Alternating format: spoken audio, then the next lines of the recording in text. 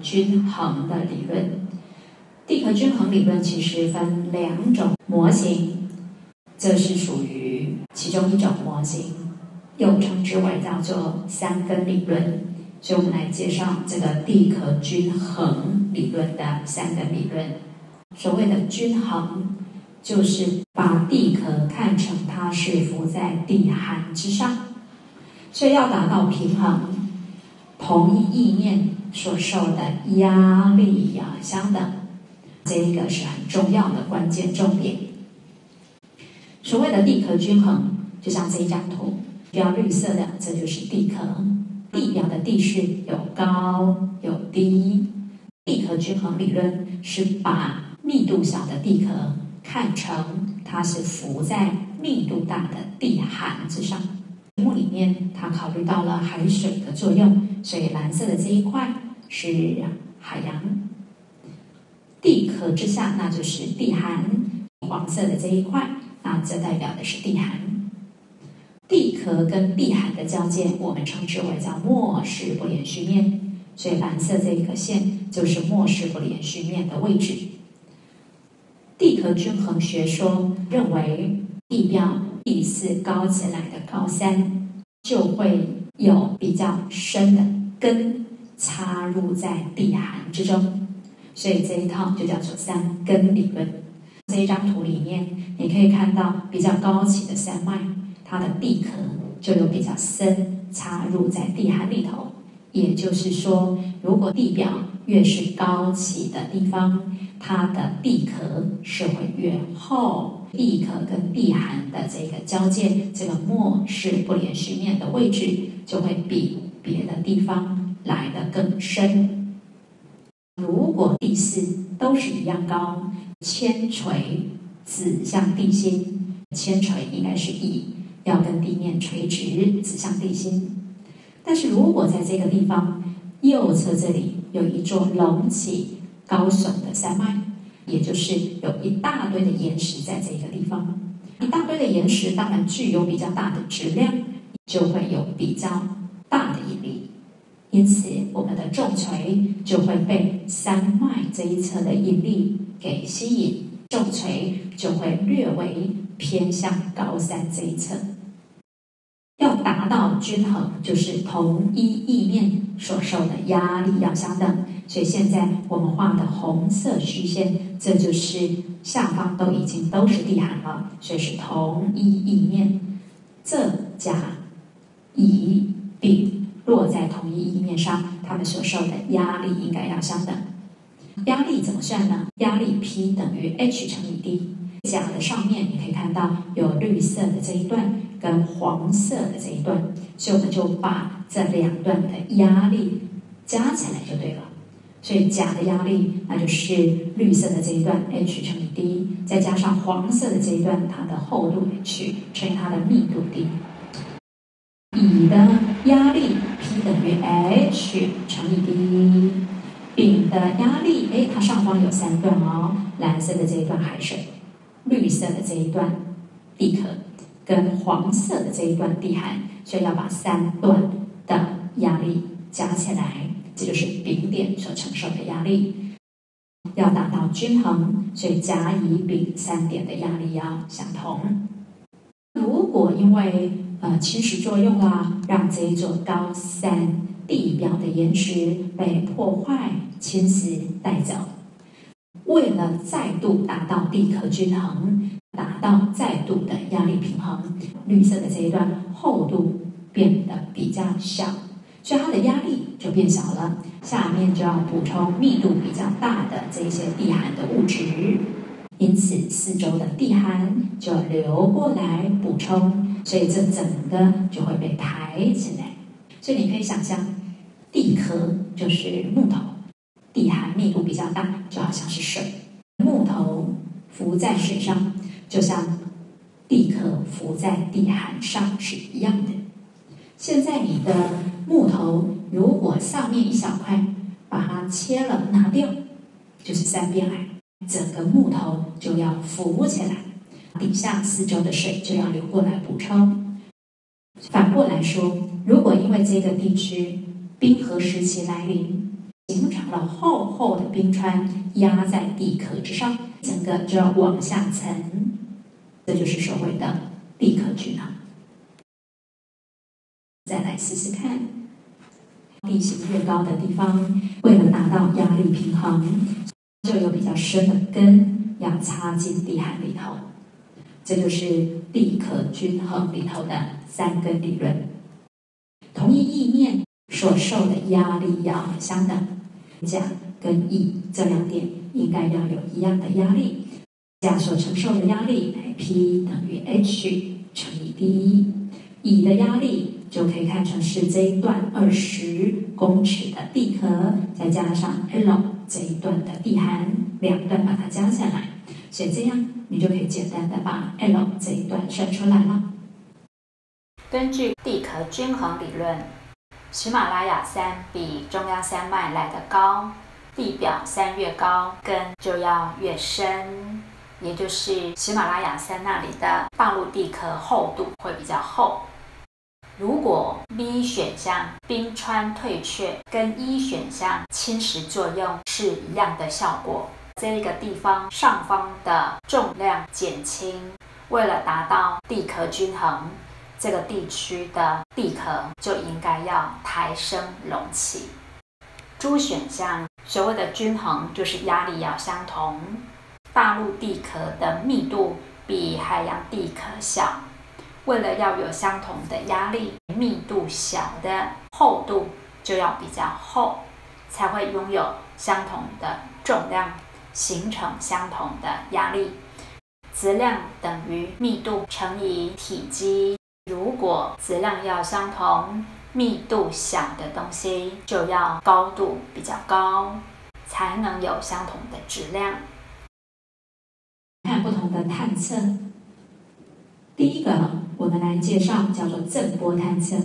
震波最主要有 P 波跟 S 波这两种实体波，它就可以在岩石当中传递。既然它可以在地下的岩石当中传递，所以我们就可以利用 P 波跟 S 波的震波探测，可以知道地下岩层的分布状况，还有岩石的密度大小、岩石的种类。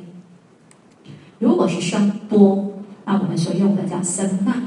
声呐就是利用声波遇到物体反射回来，所以基本上声呐探测它主要波碰到表面就反射了，所以它无法知道下方的岩石的分布状况。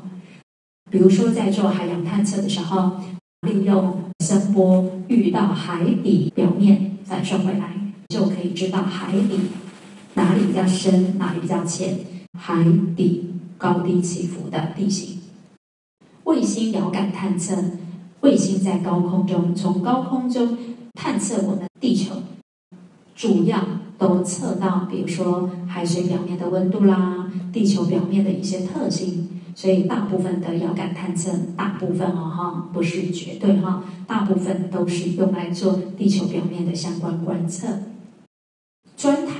我们用仪器开始往下钻，现在我们可以做陆地的钻探，也可以做海底的钻探，就直接把深处的岩石钻取出来做研究。不论是陆地钻探或海底钻探，目前我们的深度都还没有能够穿过地壳，还没有碰到末世不连续面的。这里也是提到一些所谓的物理探勘的方法。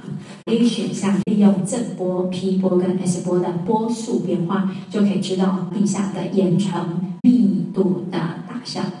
B 跟 D 选项都谈到有火成岩体，火成岩体就是由岩浆冷却所形成的火成岩，通常有比较多的金属矿。因为有比较多的金属矿，所以。金属啊，它的密度一般都是比较大的，所以它也就会有比较大的重力的值。很多的金属它是具有磁力的，因此也可以用磁力探测来探看地下是不是有火成岩，可以做这些矿产的探勘。呃，C 选项的重力探测啊，一个背斜构造就是下方的岩石就像这样凸起来了。那如果这个地方的岩层里面含有石油或天然气的话，它就会被关在背斜轴的地方。通常越下方的岩石密度会比较大一点，背斜轴这里通常它的重力值会比较大。遥测。不用碰到我们要测量的物体，就可以进行探测，这样就叫做遥测。主选项叫空载光达，空就是空中，所以可以是利用飞机，或者是利用高空的卫星，载着一个打镭射光的仪器，就像这样。从飞机上打镭射光下来，遇到地表的高低起伏，镭射光就反射回来。利用镭射光的反射回来的时间差，就可以知道地表哪里高哪里低，就可以知道地表变形的状况。这叫做空载光达。GPS 观测虽然会用到高空的 GPS 卫星，但是必须要有接收器放置在要测量的地面，因此这不能算是遥测。地下岩层的分布状况，如果用仪器测重力的值，这一条黑色的线就是我们所测到的重力值的变化。以 A 选项来说，如果这个地方地下有金属矿，金属矿通常它的密度都比一般的岩石大，所以密度比较大的东西，它重力值就会比较大。B 选项，如果一个背斜构造，通常下方的岩石密度比较大，它就这样隆起凸起来了，所以这一个背斜轴的地方，它的重力也会比四周来的大。这张图里头，你可以看到，这应该就是一个断层，所以断桥的两侧有相对运动，右侧跑上来了哈，密度大的岩石。比较厚，密度小的比较薄，所以右侧整体应该比左侧这个还要来的重。右侧的重力值要高于平均值才对，所以 C 选项它的重力曲线就画错了。D 选项跟 C 是一样的思考模式，你可以发现这个地方密度大的多，密度小的少，所以这个地方应该会比较重，所以它的重力值要高起来。反过来，这个地方密度大的少，密度小的多，所以这里相对应该重力就要比较小。这四个你可以反过来读它哦，也就是题目如果问你重力探测可以做哪些事情，我们可以用重力探测来探勘金属矿场的位置，用重力探测知道哪里有背斜构造。断层的位置，或者是基盘高低起伏的这一些变化，在这一张图里面，你可以看到地壳的厚度的数据。通常陆地这边的地壳厚度都是比较大的，海域地壳的厚度是比较薄的。这张图里面，你并没有看到标示五十的曲线，所以表示都没有地壳厚度大于五十公里的。这个地方地壳的厚度挺厚的哈，有四十几公里。那你可以看到，这里就是喜马拉雅山的范围。所以你可以发现，山越高的地方，通常这边地壳的厚度会越厚。这就是三根理论。如果我们在题目所说的这个经纬度的这个地方的话，它的地壳厚度是四十几公里。所以要穿过这么厚的地壳，碰到末世不连续面是相当困难的。所以我们如果想要钻到末世不连续面，当然就要挑地壳越薄的地方来下手，是越有机会达成目标的。所有的震波都是从正压开始往外传递，不论是 P 波、S 波到达甲还是到达乙的波都一样。正压到甲地不是 x 公里好了，S 波走这一段距离，它需要花时间 x 除以它的波数四，P 波跑这一段距离，它所需要的时间是 x 除以它的波数六。我告诉你，甲地测到 P 波跟 S 波的时间差是十秒，所以这个呢就是十。另外，对乙地来说，假设乙地跟正央相隔 y 公里，走这 y 公里，S 波跟 P 波到达的时间是差三十秒。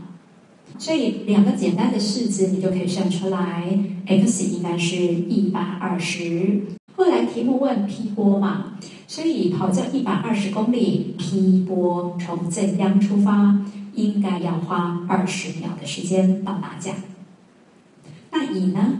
乙把它算出来，y 呢是三百六十，P 波从正央跑出来，跑这三百六十公里应该要花六十秒。跑到甲只要二十秒，跑到乙要六十秒，这两者之间 P 波到达时间应该要差四十秒钟。题目告诉我们说，P 波到达甲呢是九点二十五分三十秒，哎，所以到达乙呢是不是应该要差四十秒？所以把这个时间加四十秒，那就是到达乙的时间了。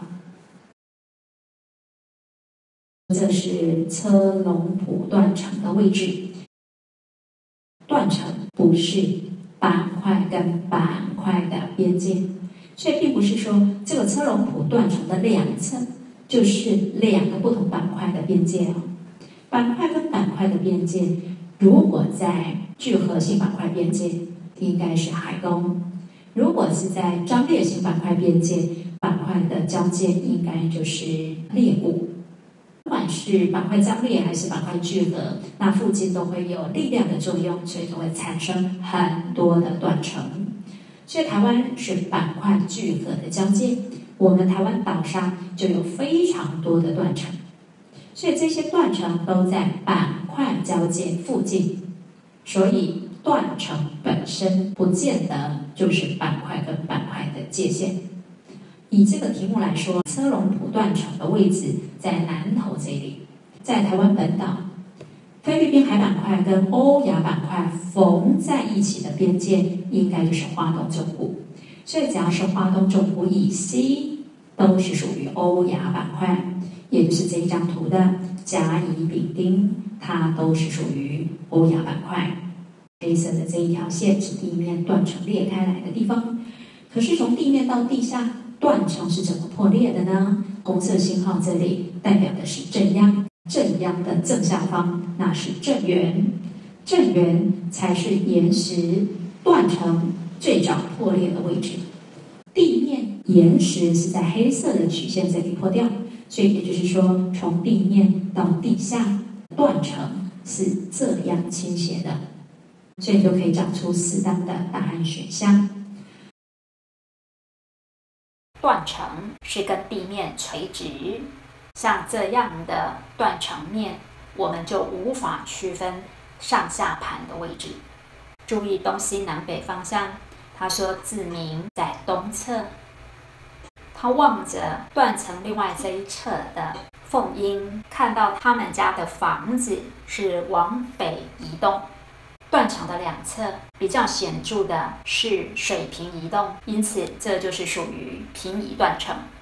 平移断层又分左移跟右移，判断方法就是站在其中一侧，望着对面那一侧，看对面那一侧相对是往左边还是往右边动了。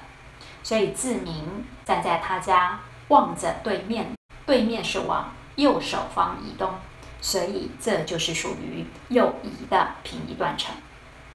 特别看一选项的转型断层，转型断层一定是在错动性板块边界。转型断层的两侧应该是属于两个不同的板块。那么像题目这个右移的平移断层，这个断层的两侧是属于同一个板块的。研究地下岩层变化很重要的一个方法叫做草沟开挖。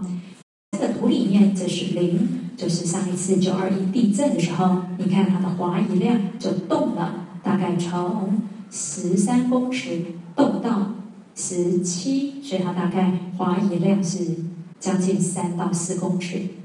另外一次这里的古地震是四百年前，九百八十年前有一次的古地震。一千九百年前又是一次古地震，两千四百年前的古地震，但是他问的是平均滑移量，也就是说，从现在往回推这两千四百年里面，滑移量累加起来大概有十六公尺。两千四百年里头，一共滑移了这么多公里，所以简单的一算，平均滑移量一年大概就是六公里。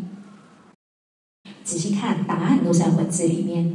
题目说，作用力累积到一个临界值的时候，它才会造成大地震。所以有这四个选项，你看 B、C、D 三个选项，作用力都累积到一个临界值，然后发生地震，然后能量释放出来了，所以能量咻，作用力能量就急剧往下掉，这就发生在地震发生的时候。所以你可以发现这一句话。只有 A 选项的图是不符合的。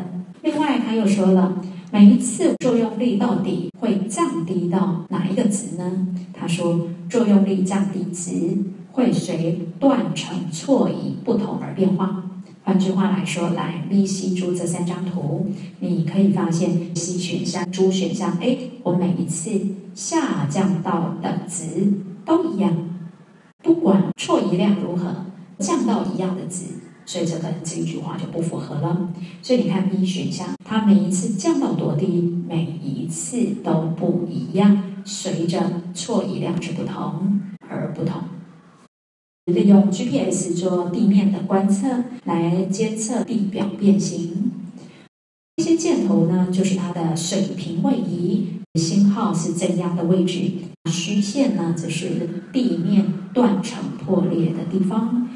在断层的左侧，它的变形都是往右侧移动；断层的右侧都往左侧移动，也就是断层的两侧很显然是在推挤挤压的。挤压力主要应该是形成逆断层，断层的南侧应该是逆断层的形式。断层的北段这一段然后？这一侧它都这样水平移动过去了，所以这就是一个平移断层。所以这个断层的北侧是属于平移断层。这也是 GPS 的观测结果。那我们来看图说故事啊，它给你两张图，啊，注意看题目。这张图它给的是水平变形量，也就是说每一只箭头朝哪个方向，那就是。那一块陆地，我们测出来 GPS 测量的结果，它是往水平哪一个方向在移动的？这一张图讲的是垂直变形，所以这些箭头所表达的就是那一个位置，我们测出来它是在高度是在下降，还是高度它是在地形是在抬升？这两张图是不一样的，提供不同的线索。这里它告诉你，我信号所在是这样。但是它并没有画出地面断层在哪里，就我们根本由图看不出来断层是在哪一个位置。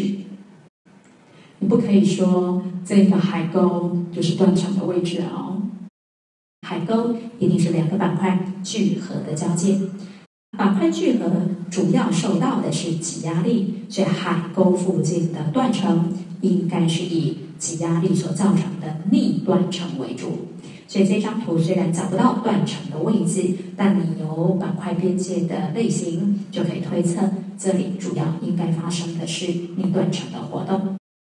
另外，我们看到海沟的符号要敏锐的察觉，三角形这个尖端画的方向是有意义的。记住，尖端指哪一边，就是板块往哪一边一摸。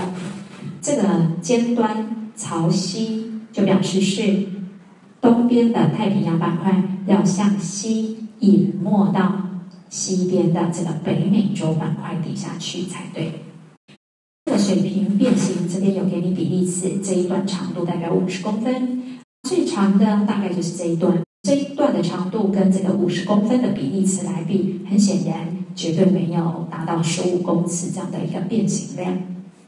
这里右边的这个垂直变形的图，这一侧它的地表是往下沉降的，但是你不知道断层在哪里，所以当然没有办法分辨这里的上下盘的位置，所以基本上由这个所提供的线索是没有办法判断断层种类的。所以我们在这里刚刚说了，是利用看到海沟，所以知道这是一个聚合性板块边界，所以比较有可能应该是以逆断层为主。